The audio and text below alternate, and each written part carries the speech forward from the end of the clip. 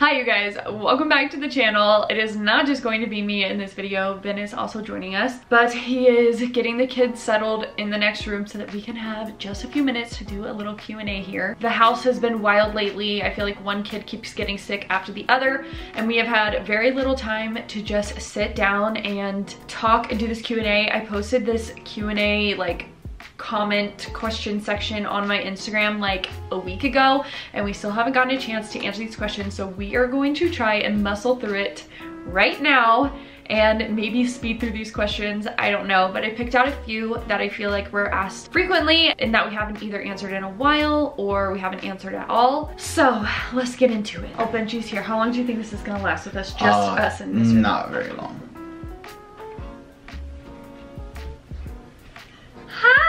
I think it's the first time we've ever done this. What? Like a Q&A while the kids are awake. I know, usually we wait, but then it's either like dark outside or -hmm. trying to stay mm-hmm. quiet because all the kids are sleeping, but now, now Ella, doesn't, doesn't, even nap. nap. Yeah. So like it's just, I was explaining that it's a, it's been a little wild over here and even Avy's just not feeling good today. Yeah, it's just... She's... It's that time of year, just sickness and just a bunch of stuff. So I picked out some questions and we're gonna try and muscle through them. Is my zip covered up? yeah, it's fine. Should I show them? Should I be vulnerable? No, no. Should I be vulnerable? Should I show them? Should I do a big reveal? Three. No, no, no. But you know, two, one. Oh, it doesn't look bad. it looks not bad on camera. It's like. Whoa, on camera. Whoa, whoa, whoa. Okay, As you no, guys you can see, hold on. In real life, it. It's pretty bad. Look at that. Mm. Perfect. Out of sight, out of mind, I guess. Okay. All right. We're gonna start with saying our icks for each other. Icks. What are our icks? I don't know if I have any icks. Icks are like something that turns you off, correct? Yeah, where it's like, oh. I feel like I have pet peeves, but I don't know if I have any icks. Like, like tickling me? Because I'm like a physical touch, words of affirmation, but if you start tickling me, I want nothing to do. Like, I don't want you to touch me at all. Or yeah, you haven't liked me tickling you. I find it icky that you, like, can't stay still in our bed and you, like, yeah. pick it, everything. Ben's a I'm picker. A picker. So, like, if he has anything, like, on his fingers that he can pick off like on his feet or like yep. on his face or on his arm. Oh, it drives me nuts. or I'll just like that. rub my feet back and forth. I can't. I, I just, it drives me nuts yeah. when you do that stuff. Especially I'm when we're in bed and we're trying to watch a show and you're like clicking at your fingers and stuff. That, no, oh, it. it. drives me ah. insane. Yep. So we are going to do our biggest, biggest accomplishment, accomplishment. Oh, and then our biggest regret in 2023. Wow, that's hard. I think my biggest accomplishment would be like growing as a parent. Okay. I feel like yeah. 2023 is a big year for me. Like with that like two to three adjustment, like it was overwhelming and I feel like I did make huge strides in parenting and like learning how to be a better parent and learning how to handle different situations better. You and I have had a bunch of talks of just like how to be the best parents that we possibly can be and we are so young but then again we are like really proactive and trying to learn how to be the best parents that we can be. So I feel like I you made a lot of. Like, I made a lot of strides yeah. and steps forward to be an, an even better dad. Yeah. And then regrets. I don't, I don't know. Maybe I don't really. I don't really know of any like necessarily regrets because I feel like a lot of times when you do do things that you don't necessarily love, I feel like it also helps you grow as a person. So I think my biggest accomplishment in 2023 was mastering the art of having three children. I feel like I finally in 2023 felt like I like had had my head screwed on mm-hmm. straight mm -hmm. yeah. it, because 2022 was such a blur for me with a third baby and a new baby and everyone says that having three kids is like the hardest phase especially if you have them like close in age, so like they're all really young. Ella was only three when Addie was born, so we had three, three and under, and that was yep. wild. That was crazy, but I felt like in 2023, like I could take the kids anywhere, and like yep. I was good. Like I could take them all to swim lessons, I could take them all to like the grocery store or wherever I needed to go, and it was no big deal. So I feel like that was a big accomplishment in 2023. No, for sure. And I think my biggest regret in 2023 was like allowing myself to like feel so sad and like get in my head and just overthink things and stay in that place for far too long because the second half of 2023 was like really hard on me mentally. Yeah. I just was not at a good place.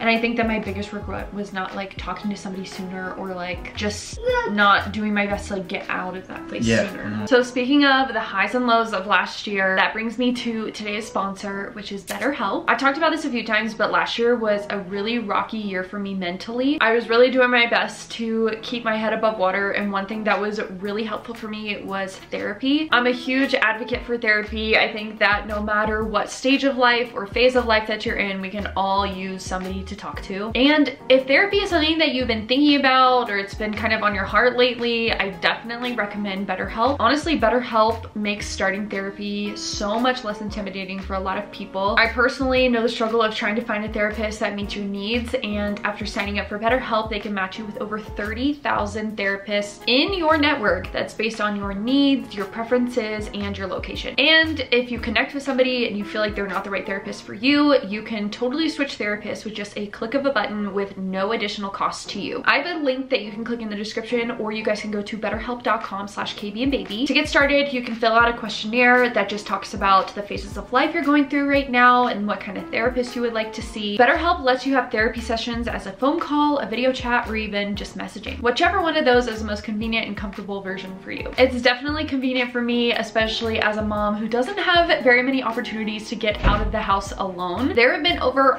4 million people who have decided to join BetterHelp. And if this is something that you want to do as well, I have a link in the description or you guys can go to betterhelp.com slash kbandbaby and Baby and you can get 10% off of your first month with BetterHelp. Kid count number two. Kid count number two. We're just filming We're just a filming. video really, really fast. Somebody asked, when are you moving? I don't know. I don't think we are. I don't think we are, unfortunately. I don't. I wouldn't say unfortunately. You know, guys, I'm gonna be honest. There's just too many ties here. Like, I don't know why. I think I was like really romanticizing what that would look like. Yeah. And it just wouldn't be that way. And I've kind of realized that moving away from all of your friends and family. Yeah, it's just. As much as that would be cool for some people, I don't think that it would be ideal for me. Yeah. And also, just with my eyes open to a whole different world of finances.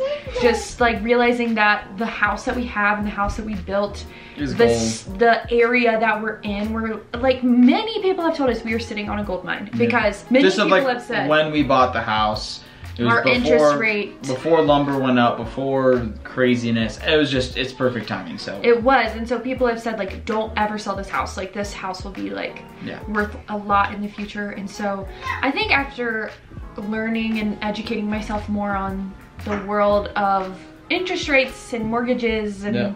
all of that stuff, I've come to find that this house is good for us. I no, don't sure. think that it is our forever home, but so for right either. now, it is our home. and the nice thing is, we have so much potential with it. Like right now, we're comfortably living in it as it is. Not to mention the fact that we have a completely unfinished basement. So it's not mm-hmm. like we're in a situation where we're in too small and we're like, man, we need to get out and do more for more space or whatever it is, um, we can all just like finish the basement. The next question is, do you see yourself having any more children? Yes, four's always been our number. I feel like Katie and I, ever since we really got together, it was like four is the magic number. You have four in your family. It just seems like a perfect number. I like having three siblings. I like having a big family. And yeah, last summer we kind of came to the conclusion, which I don't know if I've said this on the internet, but last summer we had that conversation where we were like, what does that look like for us? Yeah. What changes are we gonna have to make? Exactly. well, because with that, with the fourth baby would come a lot of things. Like we'd have to get a bigger car, we'd have to finish the basement. There'd be so much financial things that we'd have to plan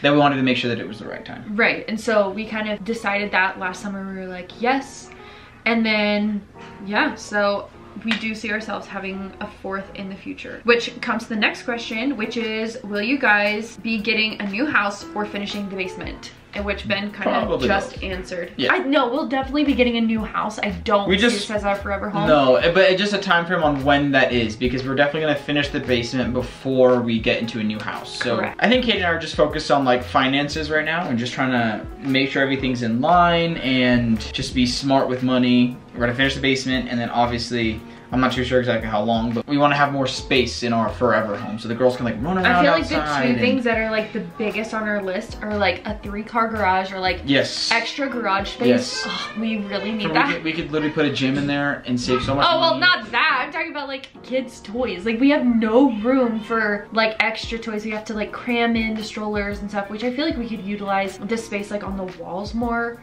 But it's just like with two cars and with having three kids and, And it's strollers. like the and garage is very like even if we hung everything on the walls, like our like, get it to them. our we're parked so close to the walls. Yeah. it's so like anyway, a three car garage would be nice. And then we also just want more yard space, like especially for Sunny and letting Yeah. her have more space to run around. Which honestly, you the backyard is great for her. She loves the backyard. And it's good, but obviously when you have a dog, you want to have more. And also for the girls, like the, the ability to just like run around in the backyard and have so much space to explore. Yeah, It's that would be really nice. The Go. next question is separate bank accounts? Question mark. If Absolutely no, how can you buy each other's gifts without the other knowing? We definitely share our bank accounts. I feel like it's just kind of part of that marriage bond. I think it's just, it's our money. You know what I mean? Mm-hmm. Like I literally, I don't see any difference about like money that you've brought in and money that I've brought in. Yeah. Like it's literally all the same to me. It doesn't. uh, So yes, we do share. All of our bank accounts are shared together. Mhm. Um, I also feel like it's a mindset though. Like, I feel like if you have the mindset of like separate entities or like separate individuals, then they could kind of like, I don't know, like I see us as a together. I don't know. Does that make sense? So how do we buy each other gifts? So we def we use our credit cards when Yeah. we buy gifts, and we just tell each other not to look. Which, Yep. first of all, You don't look anyways. I don't even like. I'm not in charge of our finances. Like Mhm. Ben's in charge of our finances. He looks at everything. He sees everything. So honestly, I'm the one who has to be like, Yeah, don't well, no, at the credit card Yeah, statement because every month I'll go through and like see what we spent money on, whether it be like fast food or eating out or just miscellaneous stuff, Like just so we different can, categories. yeah, just just so we can kind of track our spending and see how we're doing. So if anything, Katie's the one's like, hey, don't look. Or like for Yeah. Christmas time, like I didn't even do like November or December. I still haven't done it, and it's like Because it was, almost like, Black February. Friday Black shopping Friday shopping and Christmas shopping. I didn't want to ruin anything. So it's, I mean, as long as you have like some self restraint, then yeah, which you, I feel like if anyone would be nosy, it would be me. yeah, I don't, I don't care. Like I would- I I, feel like ruin I would be more nosy and I like to ask questions and ruin gifts more than you do. Yeah, I so don't know. She wants. I think she wants you. Jimmy home too. Yeah, she wants mommy. So that is all the questions that I pulled, but we're gonna answer one more question. What is that, bro? It's Pop Tart. Oh. Addison, Addison, Addie will be two next week. Addie will be two next week, which is crazy. Yeah. Crazy. So Addie, let's see if you can say any words. Do you have anything to say? Tell the camera. What do you have to say? Hi, camera. She said hi camera. You say hi camera? Hi, camera. say, I'm gonna be two. two. What's your name? Say Addy. Addie. How old are you? Say two. Usually when I ask her how old are you, she says good. Like, cause she thinks you're saying, how are you? How are you, Addie? good You're good. What are your sister's name? Who's that? Avery. Avery. Anna. Ella. Who's that? Addie. That's crazy. I cannot believe she's me too. I know. Say I'm two. I'm two. I'm two. I'm two. Addie is literally The funniest person. the funniest, most independent little girl. Yes. Oh, she You wants to do the silly face. You wanna do your silly face? Ready? Open your She loves eyes.